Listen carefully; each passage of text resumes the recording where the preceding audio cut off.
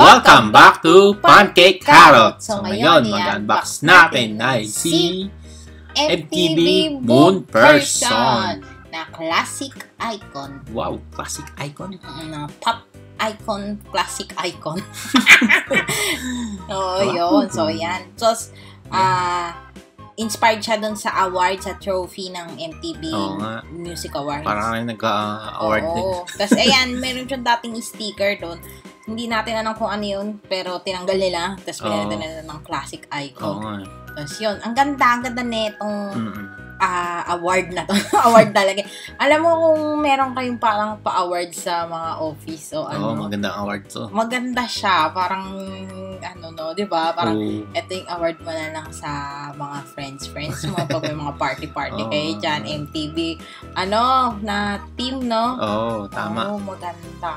Yan. Tapos, meron tayong pa-trivia.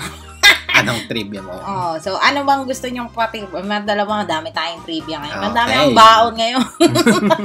so, ang una nating trivia, bakit moon person, yung ano, yung trophy? O bakit? Kasi ano, yung una nilang parang promo ad, yung parang pinaka-launch nung parang Mm. station ID nila, yun na lang. Parang Mm. station ID nila noon, yung unang-unang lumabas is yung Moon. astronaut na nakaland sa moon. Oo. Tapos, di ba, nag- oo. In-stick niya yung Ano flag. yung Apollo 11? Oo, na may Yun. MTV flag. So, Yan. yun, yun dyan inspired yung Award. award. Mm-mm. Oo, tapos, ang pangalawa nating baon ay dating ah, moon person is also known as Moon Man. Moon Man, oh. Bra- oh, mas kilala siya. Actually, mas kilala nga namin nga. siya di Paul na Moon, Moon Man, Man. eh. Hanggang ngayon, Moon Man pa rin tawag ko Oo, sa ngayon ko lang napansin na Moon Person na pala. Oo nga eh. Ngayong nagbibiyo na ganon ganon namin ka hindi Mm. kapans- napansin. 2017 siya nung pinalitan. Oo. Yun. Wow.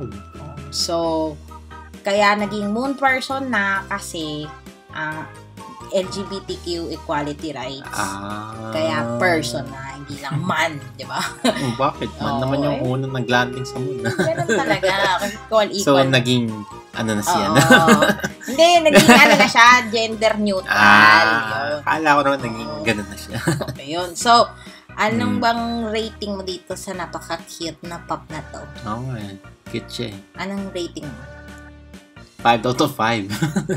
Okay din, 5 out of 5 pancakes. Yan, para may award na tayo. Oo, ang ganda niya.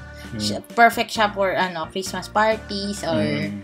yung parang mga theme Oo, parties. mag-award-award din kayo, yan, kunwari, kunwari. kayo, maganda. so, yun. Kung nagustuhan niyo tong video na to, Hit like and subscribe to our channel and don't forget hit that notification icon. and follow us on Instagram, Facebook, and Twitter. Yun po. jumble, jumble. So, yun lang. Thanks, for watching. watching.